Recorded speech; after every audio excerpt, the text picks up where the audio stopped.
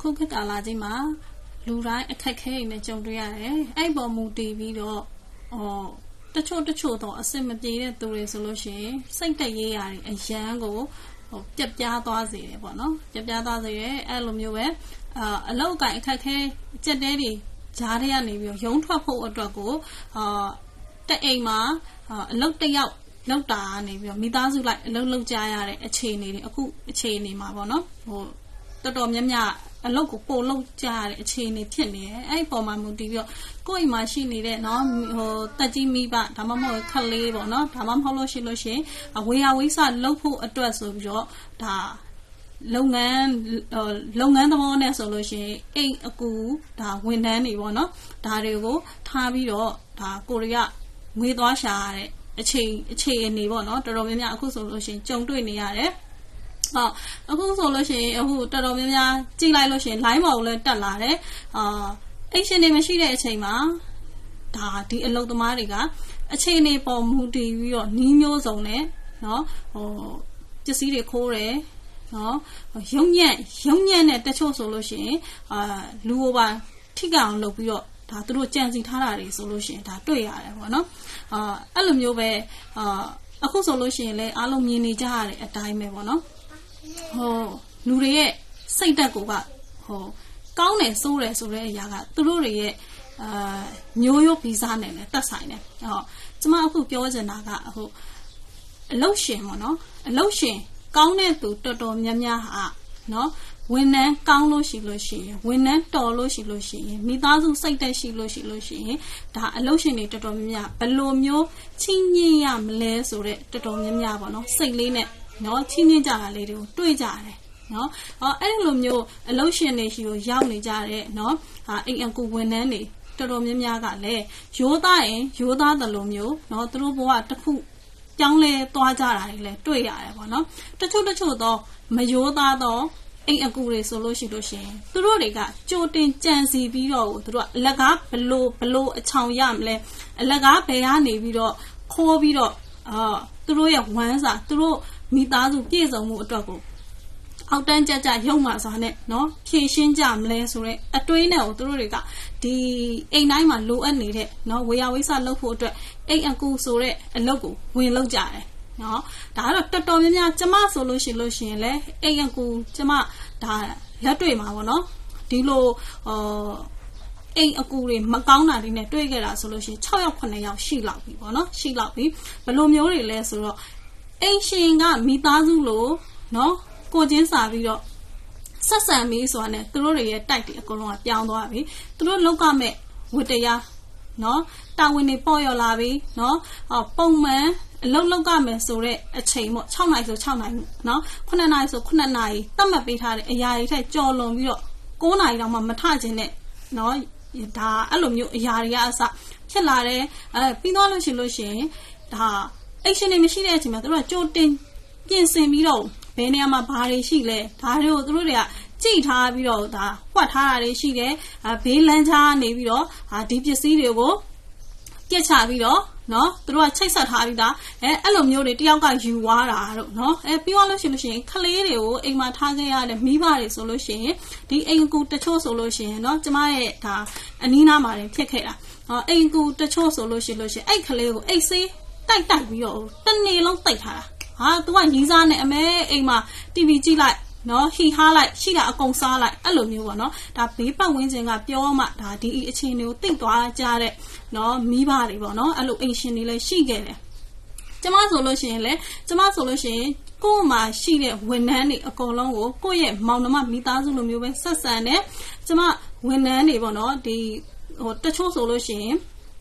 နှစ်ပေါ့ခုနှစ်နှစ် နော်9နှစ်9နှစ်အဲ့လိုနေခဲ့တဲ့ဝန်ထမ်းတွေဆိုလို့ရှိရင်ကျမကလေတော်ရင်တော်တယ်လို့မျိုးသူတို့ဒီမိသားစုစိတ်တက်နဲ့နော်အလုပ်ကိုပို့ကြိုးစားတယ်ဟဲ့ဆိုရင်6လတစ်ကြိမ်ပြီးရင်တစ်နှစ်တစ်ကြိမ်ကျမသူတို့ကိုချိမြက်တယ်ဒါတွေအကုန်လုံးကဘာလဲဆိုတော့ကိုယ့်လုပ်ပေါ်ကိုကြိုးစားခြင်းရဲ့နော်ဟိုဂုံပြူကြီးခရခြင်းဆိုတဲ့စိတ်လေးနဲ့ပျော်ရွှင်မှုတစ်ခုပီတိလေးဖြစ်သွားအောင်သူတို့ရဲ့ဘဝတစ်ခုမှာ မှတ်တိုင်လေးတစ်ခုအမှတ်တရဖြစ်သွားအောင်ဆိုတဲ့စိတ်လေးနဲ့ကျမကျမဆိုရင်အဲ့လိုချီးမြှင့်တယ်ပေါ့နော်အဲအဲ့လိုမျိုးတော်ပြီးတော့ရိုးသားတဲ့နော်ဒီဝန်ထမ်းတွေကိုတွေ့ရတယ်လို့မျိုးပဲကြိုပြီးတော့ကြံစီထားကြတချို့ဆိုရင်ဒါပွဲသားအကျိုးဆောင်နေနဲ့ကြိုတင်ကြံစီထားကြတယ်နော်ကြိုစင်ကြံစီထားကြရဲဆိုတာအာဒီအိမ်တွေကိုသွားမယ်ပြီးသွားလို့ရှိရင်ငွေကြိုပြီးတော့ယူမယ်ဟောပြီးသွားလို့ရှိလို့ရှိရင်ဘာဖြစ်မလဲနှစ်ရက်လောက်နေလို့ရှိလို့ရှိရင်အဲနီးမျိုးစုံနဲ့ ထိတ်မှာအေးလေးဝယ်မလို့လို့နော်ဟိုပတ်စံလေးသွားထုတ်မလို့လို့နဲ့ငဲဒါမှမဟုတ်အဝတ်လန်းသလိုနဲ့ထွက်ပြေးသွားတာတွေရှိတယ်ပြီးသွားလို့ရှိရင်ပစ္စည်းတွေအကုန်လုံးသူတို့ရဲ့အိတ်ထဲကိုသူတို့လိုချင်တာတွေကိုထည့်ထားတယ်ထည့်ထားပြီးသွားပြီဆိုတော့ねအာသူတို့ဒီဘက်မှာနေမကောင်းလို့အစင်မပြေလို့အိမ်ကိုလာခေါ်ပါဆိုပြီးအဲအဲ့လိုမျိုးကိုကဒီလိုဆက်လိုက်တဲ့အခါကျတော့ပစ္စည်းတွေတွေ့ခဲ့ရတယ်အဲအဲ့လိုမျိုးအများကြီးပဲအများကြီးရိုးသားတဲ့သူတွေရှိသလိုစိတ်တက်ရေးရာရောပေါ့နော်အာသူတို့တွေရဲ့ ဟိုငကိုတဲကအလုံးမလုံးဖဲနဲ့အချောင်လိုခြင်းနဲ့စိတ်တွေနဲ့အဲ့လိုအိမ်တကာကိုလေပတ်ပြီးတော့အိမ်အကူအလုံးလုံးနေကြတဲ့သူတွေတော်တော်များများကိုလည်းကျွန်မတွေ့ခဲ့ရတယ်အဓိကအကြောင်းအရာကဘာလဲဆိုအလုံးမလုံးဖဲနဲ့အချောင်စားအချောင်နေခြင်းကြတဲ့သူတော်တော်များများကြောင့်အခုဆိုလို့ရှိရင်အိမ်အကူတချို့ဆိုလို့ရှိလို့ရှိရင်ဟို တကယ်ကိုရိုးသားပြီးစူးစမ်းတဲ့အလုပ်သမားတွေဆိုရင်သူတို့ကသူတို့အိမ်အကူအလုပ်လုပ်ပါတယ်ဆိုတဲ့အရာတော့မှပြောရမှာတော့မှသူတို့ကသူတို့တိတ်ငယ်နေကြတဲ့အဖြစ်မျိုးရှင်ဘာကြောင့်လဲဒါဘာကြောင့်လဲရိုးသားတဲ့သူသူတွေဟာအခုလိုမျိုးမရိုးသားပဲနဲ့အချောင်သူများရှိအလက်ကားခိုးခြင်းနှိုက်ခြင်းเนาะအဲ့လိုလူတွေကြောင့်အခုလိုမျိုးနမယ်တွေပြက်เนาะကိုယ့်ရဲ့အလုပ်မှာတော့မှကိုတိတ်ငယ်ရတဲ့အဖြစ်ကိုဖြစ်ရခြင်းဖြစ်တယ်လို့ကျွန်မကတော့ဒီဟာလေးကိုเนาะ sharing လုပ်ပြီးတော့ပြောပြချင်ပါတယ်ရှင် ကျမတို့အခုဆိုလို့ရှိရင်အခုဖြစ်ပျက်ခဲ့တဲ့တချို့တော့ပေါ့နော်ကိုယ့်ရဲ့ညီမလေးလိုဖြစ်တယ်နော်ပြီးသွားလို့ရှိရင်ကိုချစ်ကြတဲ့နော်မိသားစုတချို့ဘေးပတ်ဝန်းကျင်နဲ့တချို့ဆိုလို့ရှိရင်သူတို့ခံစားရတယ်လေသူတို့တွေကဘာလဲဆိုယုံကြည်ပြီးတော့ယုံကြည်မှုအလွဲသုံးစားလို့လားအိတ်ရှင်ကောင်းပြီဆိုလို့ရှိရင်ဒါဝန်တန်းတော်တော်များများရဲ့စိတ်ပေါ့နော် သူတို့တွေရဲ့တော်တော်များများရဲ့စိတ်မှာဘာပါလဲဆိုတော့သူတို့ကိုသူတို့အယံအထင်ကြီးသွားတာအာငါတို့အာငါငါတို့မှမရှိလို့ရှိရင်ဒီအလောက်ကဖြစ်တော့မှာမဟုတ်ဘူးသူတို့လည်းအလောက်သွားတော့မှာမဟုတ်ဘူးအာသူတို့တွေကငါတို့မရှိလို့ရှိရင်ထမင်းစားတော့မှာမဟုတ်ဘူးအဲ့လိုစိတ်တဲ့နံပါတ်1ပါလဲဒါယုံညံ့ခြင်းဖြစ်တယ်ကိုယ့်လုပ်ပေါ်ကိုတာဝန်မယူခြင်းဖြစ်တယ်နော်အလက်ကအချောင်ဘယ်လိုမျိုးရမလဲဆိုတဲ့စိတ်က သူတို့ကအဲအဲ့ဒီမှာဝင်လာပြီဘာကြောင့်လဲဆိုတော့အိမ်ရှင်ကသဘောကောင်းပြီးမိသားစုလို့ဆက်ဆံတဲ့အခါမှာအဲ့လိုစိတ်တက်တွေဖြစ်တယ်ပြီးတော့လို့ရှိရင်အဲ့အိမ်ရှင်နော်အဆင်ပြေတယ်ဒါမှမဟုတ် तू ကအဆင်ပြေတယ်ဆိုတော့ तू အရင်အလုပ်ကြိုးစားရတာကိုအလဲအလုပ်ကြိုးစားတဲ့အတွက် तू မှရလာတဲ့ပစ္စည်းတွေငွေကြေးအဲ့ဒီဟာတွေအကုန်လုံးကို तू ကကြည့်နေတာဟောကြည့်နေရင်းနဲ့ဟို तू ကလိုချင်တက်မှတ်စိတ်ကပိုပြီးဖြစ်လာတယ်ဟောအိမ်ရှင်ကောင်းပြီဟေးဆိုလို့ရှိရင်အဲ့လိုမျိုးတွေဖြစ်ဖြစ်ပြက်လာကြရပါတော့အော်အခုလိုမျိုးတွေ့ကြားခဲ့ရတယ်တွေ့တွေ့နေရတဲ့အရာတွေမှာလည်း ဘာလဲဆိုတော့အာအိရှင်အရန်ကောင်းတော့ကောင်းလို့ကိုသူတို့တွေကမကောင်းတဲ့စိတ်နဲ့ယုံညံ့ခြင်းစိတ်တွေပုံများလာတာဟောအဲ့တော့ဘာဖြစ်မလဲသူတို့မစင်းစားတာဘဝမှာတစ်ခါပဲစံစားမလားနော်အကယ်၍သူတို့ရဲ့လုံရက်တစ်ခုဟာသူတို့သူတို့ထမင်းစားဝင်လားနော်အိတ်ပျော်ရဲ့လားနော်သူတို့တွေရဲ့အနောက်မှာရှိနေတဲ့မိသားစုတွေအကုန်လုံးကရောဒီလိုမျိုး ခိုးပြီးတော့နော်သူများအိမ်ကနေပြီးတော့နော်အာဟိုမသိအောင်ခိုးယူပြီးတော့နော်အခုလိုမျိုးယူလာတဲ့အရာတွေနဲ့စားရပါမလားသူတို့အဲ့ဒါကိုမတွေးဘူးအမြဲတမ်းအမြဲတမ်းဒီလောက်ရက်ကိုတစ်ဖြည်းတစ်ဖြည်းနဲ့နှိပ်သွားတဲ့အခါကျလို့ရှိရင်သူတို့ရက်တည်ရမယ့်ပတ်ဝန်းကျင်မှာနင်တို့တွေခေါင်းအောင်ဖော်နိုင်ပါမလားဆိုတဲ့အတွေးမရှိဘူးအလကားရရင်အကုန်ယူမှာပဲဆိုတော့ငါရှားရတာမဟုတ်သူများဥစ္စာအဲအဲ့တော့ ဟိုဘလို့ပဲဖြစ်နေဖြစ်နေအလကားရဖို့အရေးကြီးရဆိုတော့အချောင်စိတ်ပေါ့နော်အချောင်စိတ်အခုကာလမှာအဲ့လိုအချောင်စိတ်ရှိလို့ရှိရင်ချက်ချင်းကိုကျမတို့တွေဘာလုပ်တင်တယ်လဲဆိုတော့သိသိနဲ့အရာကိုကျမတို့ sharing လုပ်ပြီးတော့နီးစပ်ရာတွေကိုအကြောင်းကြားရမယ်เนาะအခုတော်တော်များများဆိုရင်ဒီအိမ်အကူ blacklist ဝန်ထမ်း blacklist အဲ့ဒါတွေဟာတင်လာတယ်ဆိုတဲ့အရာမှာကျမတို့အချင်းချင်းတ ယောက်တစ်ယောက်မသိဘူးဒါပေမဲ့တနိုင်ငံထဲမှာနေနေကြတဲ့ပြည်သူအချင်းချင်း share လုပ်ပြီးတော့ဒီလိုမျိုးမကောင်းတဲ့အရာတွေကိုမကောင်းတဲ့သူတွေကိုဒဏ်ပေးရမယ်ဖော်ထုတ်ကမယ်တွေ့တဲ့နေရာနဲ့အကြောင်းကြားရမယ်အခုဆိုလို့ရှိရင်လည်းတချို့တချို့တော့ဒီလိုမျိုးပေါ့နော်အချင်းချင်းပြည်သူတွေမသိပေမဲ့အဲ့လိုမျိုးဟိုစိတ်မကောင်းရတဲ့အရာပေါ်မူတည်ပြီးကုညီကုညီကြတယ်ပေါ့နော်အဲ့တော့ဖမ်းမိကြတယ်အဲ့တော့သူတို့ဘဝဘာဖြစ်သွားလဲဘာဖြစ်သွားလဲသူတို့ဘဝကအခု အပြစ်ပေးခံရရင်တော့မှသူတို့တက်တက်လုံးသူတို့တွေမကောက်သူတို့ရဲ့မိသားစုအကုန်လုံးဘလို့မျိုးရှာဖွေစားတော့မလဲဆိုတဲ့အရာကိုကြုံမတွေးပဲနဲ့အလကားလိုချင်စိတ်နော်အလကားဘလို့မျိုးငါတို့တွေထိုင်စားလို့ရမလဲဆိုပြီးတော့ကြွယ်ရမှာသူတို့တို့တိတ်ဟုတ်လာပြီထင်တာဟဲအခုလိုမျိုးကျမတို့ social media ပြည်သူတွေတယောက်နဲ့တယောက်နော်ဟိုကုညီနေကြတဲ့အချိန်မှာအခုလိုမိသွားတဲ့အကြောင်းအရာတွေဆိုရင်ကျမဆိုအရန်ကျင်တတ်တယ်ဘာကြောင့်လဲနော် တယောက်နဲ့တယောက်ကျမတို့မမြင်ကြပါနဲ့ချစ်ခင်မှုတွေတယောက်နဲ့တယောက်ကူညီမှုတွေအရန်တိုးလာတဲ့အတွက်ကျမတို့ပြည်သူအချင်းချင်းတယောက်နဲ့တယောက်အာကူညီနိုင်တဲ့အခြေအနေတွေပေါ့နော်ဟာမြင်ရတဲ့အတွက်ကျမတို့အရန်ကျင်တတ်တယ်လို့ဒီကနေပြောချင်ပါတယ်ဟောကျမတို့ဒီလိုအခြေအနေတွေပေါ့နော်အချောင်အိမ်ကူတွေနော်အာလာစာယူပြီးတော့နော်အလုတ်ကိုကို့အလုတ်ကိုတာဝန်မကျေတဲ့ဝန်ထမ်းတွေ အဲ့လိုဝန်ထမ်းတွေကိုကျမတို့ကဘယ်လိုမျိုးကျမတို့တွေကအာသူတို့တွေကိုဘယ်လိုထားရမလဲဆိုတော့ကျမတို့အလုတ်ချိန်ဆိုတဲ့အရာမှာလဲကျမတို့အချိန်နဲ့ဘယ်အချိန်မှာအလုတ်စားစင်းမယ်ဘယ်အချိန်မှာထမင်းစားနေရှိဘယ်အချိန်အလုတ်ဟိုရုံးစင်းမယ်ဆိုတဲ့အရာတွေရှိတယ်လို့မျိုးပဲသူတို့တွေကိုလည်းဘယ်အချိန်ထမှာဘယ်အချိန်မှာဘာလုပ်ပါဘယ်အချိန်မှာအဲ့လိုမျိုး plan နဲ့တာခြာပေးမှအဆင်ပြေမဲ့ခြေနေရှိရယ်။ဘာကြောင့်လဲဆိုတော့သူတို့တွေဟာကိုရီလိုမျိုး ဟောစဉ်းစားဉာဏ်ရှိတဲ့သူတွေမဟုတ်ဘူး။တိတ်တိတ်ချာချာဒီလောက်ပြောရင်တော့မှတလွဲလုပ်တဲ့သူတွေဖြစ်တယ်။အဲ့တော့ကိုယ့်ဘက်ကတခါတည်းစီကံချက်ထုတ်ပါပြီးသွားလို့ရှိလို့ရှင်လက်မှတ်ထိုးခိုင်းမှာဒီစီကံချက်ထဲကတခုခုဖောက်ခဲ့လို့ရှိလို့ရှင် fine ငွေဘလောက်เนาะ9000ဆို9000သူတို့အတွက်9000ဆိုတဲ့အရာကအရန်ကိုများလို့ ਨੇ ဒါပေမဲ့အဲ့လိုမျိုးသတ်မှတ်ကြမယ် နော်သူတို့ရဲ့တစ်လဝင်ငွေကလစာက3သိန်းမထားလိုက်2သိန်းမထားလိုက်တစ်ခါမှားရတစ်ခါ9000ဆိုလို့ရှိရင်သူတို့ဟိုအပြစ်လောက်တဲ့အရာပေါ့နော်အလောက်ပေါ်တာဝန်မကြည့်တာတွေကတွားရင်သူရောသွားလိမ့်မယ်လို့ကျမကတော့အဲ့လိုမျိုးဟိုသုံးသပ်တယ်ကျမဆိုရင်လည်းကျမရဲ့ကျမအာရေးထားပြီးသား6နာရီထားမယ်6နာရီခွဲမှာဘာလုပ်ရမလဲ9နာရီခွဲမှာဘာလုပ်ရမလဲ10နာရီမှာဘာလုပ်ရမလဲ9နာရီမှာဘာလုပ်ရမလဲကျမတခါလေး plan ချထားပြီးသားနော်ဒီနေ့အတွက်ကိုဟောကိုကိုတိုင်းကလည်းကိုယ့်ရဲ့ အိမ်ကိုပြီးသွားလို့ရှိရင်ကိုယ့်ရဲ့အလုပ်သမားတွေကိုဂီယူဆိုင်ပြီးတော့စောင့်ကြည့်မှသာအရရအကုန်လုံးကအခုလိုမျိုးအလိမ်မခံရမှာဖြစ်တယ်ပြီးတော့ဆုံးရှုံးမှုတွေနည်းသွားရမှာဖြစ်တယ်အဲ့အခုခေတ်ကာလကြီးမှာဘသူဘသူမှမယုံရပါဘူးเนาะကိုယ့်ရဲ့ဝန်ထမ်းတွေအရန်ချက်ပါတယ်ဆိုတော့ဝန်ထမ်းတွေကလည်းဒီအချိန်မှာခေတ်အခြေအနေရအားလုံးကဒုက္ခတယ်တွေပေါ့နော်ဖြစ်နေကြတဲ့အတွက်အာစိတ်တွေကအမျိုးမျိုးပြောင်းသွားနိုင်တယ်အဲ့တော့ကိုယ့်နဲ့ကိုကိုသိမ့်သိမ့်တဲ့အရာတွေအကုန်လုံးကို တဆူတစည်းတဲ့နဲ့ကိုသိမ့်သိမ့်တဲ့အရာမှာပဲဟောထားပါသိမ့်ပါပြီးရင်ကိုနဲ့မကွာစောင်းပါပြီးသွားလို့ရှိလို့ရှိရင်အဲစိတ်ကန့်ချက်အတိုင်းသူတို့တွေကိုလှုပ်ဆောင်ခိုင်းပါလို့ဆိုပြရတော့ဒီကနေပြီးတော့အကြံဉာဏ်ပေးချင်ပါတယ်အာပြီးသွားလို့ရှိလို့ရှိရင်ကိုကိုတိုင်းကလည်းဒီထုတ်ထားတဲ့စိတ်ကန့်ချက်ထက်ပို့ပြီးတော့ကြော်လွန်ပြီးတော့ခိုင်းတာတွေပြောဆိုတာတွေမလုံသင့်ဘူးပေါ့နော်အဲ့ဒါလေးကိုလည်းဆိုပြရအာ sharing လုပ်ပြီးပြောပြချင်ပါတယ်တချို့ကကြတော့ night taxi နဲ့အရန်ကို နော်အလုတ်သမားပေါ်ကိုဒါဟိုဟိုလောက်တာတွေလည်းကျွန်မတွေ့ခဲ့ရတယ်ပေါ့နော်ဟုတ်တချို့ကြတော့လေအာတန်ရတန်ရထားကြတယ်အဲ့တန်ရတန်ရထားတဲ့အရာတွေကအဲ့လိုမျိုးလူတွေအတွက်ကအကောင်းဆုံးပဲလို့ထင်ရသလောက်ကိုတချို့တွေကမှန်နေတယ်သိလားအော်အခုလိုမျိုးဟိုအခိုးခံရတယ်အဲပြီးတော့အလိန်ခံရတယ်နော်ဟို ယုံကြည်မှုအလဲတောင်းစားလုပ်ပြီးတော့လာစားလဲယူတယ်အာဒီအိမ်ရှင်ရှိကပစ္စည်းတွေကိုလည်း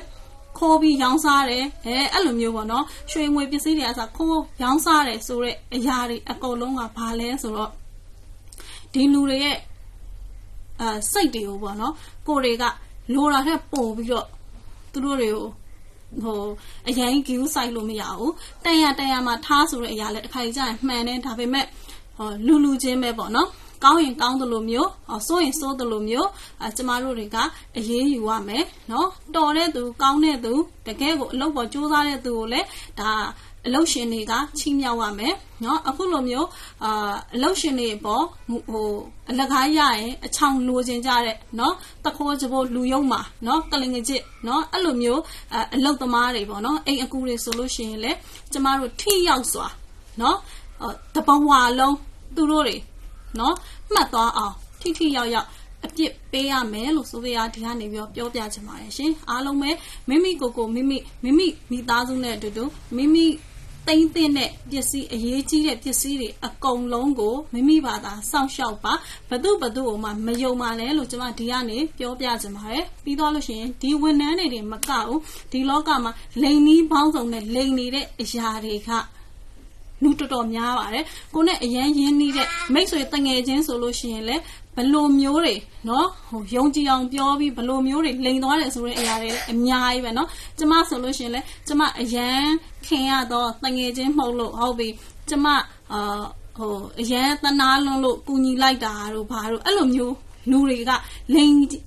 လိန်သွားကြတာလေအများကြီးရှိရယ်ပေါ့နော်အဲ့တော့ကျမကတော့လိန်နီးမျိုးစုံကိုကျမ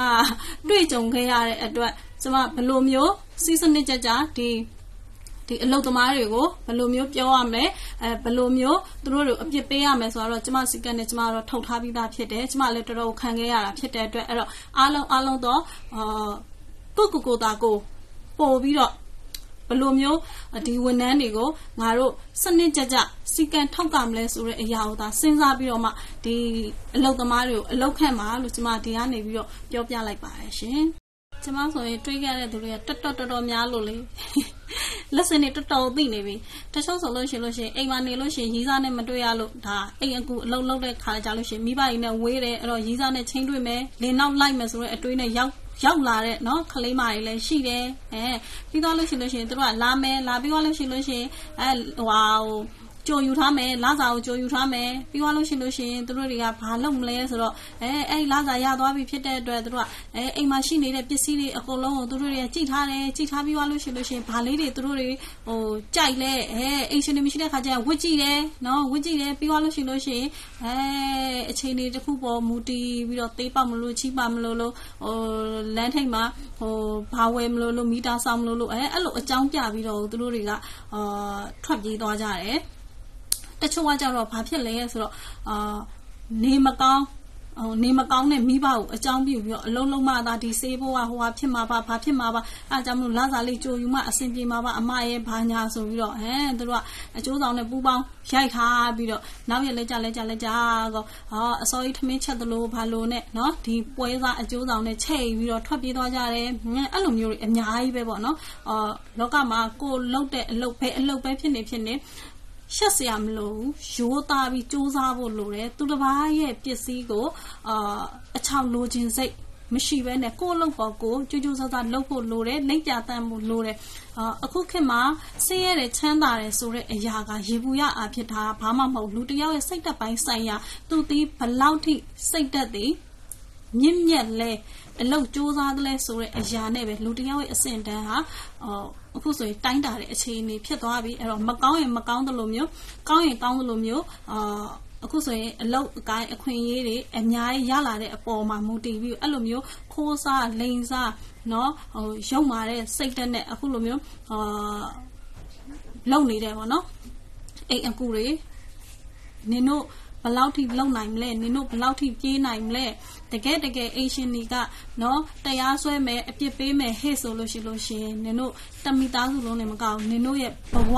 အကုန်လုံးက blacklist နာမည်ပြက်နေနင်တို့ခေါင်းဖော်နိုင်မှာမဟုတ်ဘူးအဲ့ဒါလေးကိုကြိုတွေးကြပါအလုပ်စူးစမ်းကြပါလို့ကျမဒီကနေပြီးတော့ပြောချင်ပါတယ်အဲပြီးသွားလို့ရှိလို့ရှိရင်ကျမတို့ ဒီအခုခက်မှာဆိုလို့ရှိလို့ရှိရင်ကောင်းရင်ကောင်းတယ်လို့မျိုးအလုပ်အကင်အခွင့်အရေးတွေအများကြီးရှိနေတာဖြစ်တဲ့အတွက်ရိုးသားစူးစမ်းအလုပ်လုပ်ကြပါလို့ကျမဒီကနေပြီးတော့တိုက်တွန်းချင်ပါတယ်ရှင်